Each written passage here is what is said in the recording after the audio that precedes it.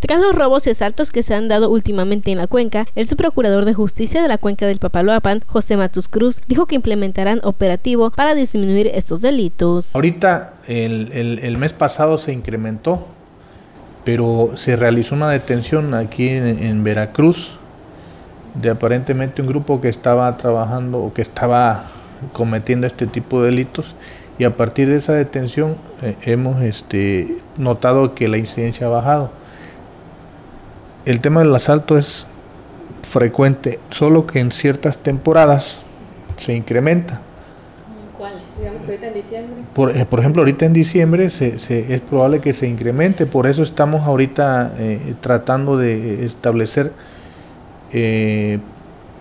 planes o programas de, de, patrullaje para, para, trabajar en el tema en el área de la prevención.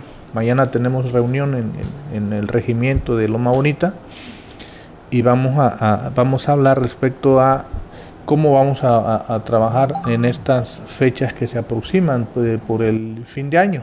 Agregó que en este mes de diciembre se tiene considerado que se incrementen los asaltos debido a la temporada, por lo que van a implementar el programa de patrullaje para prevenir que se dé este tipo de delitos. Entonces sí hay temporadas en las que los asaltos se incrementan y, vamos a, eh, establecer ese plan de, de trabajo.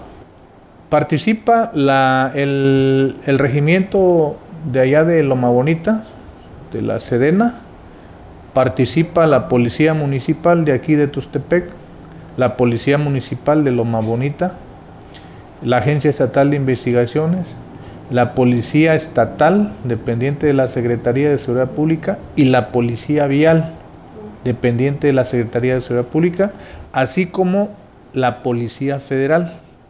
Por lo tanto, con este operativo pretenden que ya no se den con frecuencia estos asaltos. Con imágenes de David Barahona, informó Dora Timoteo.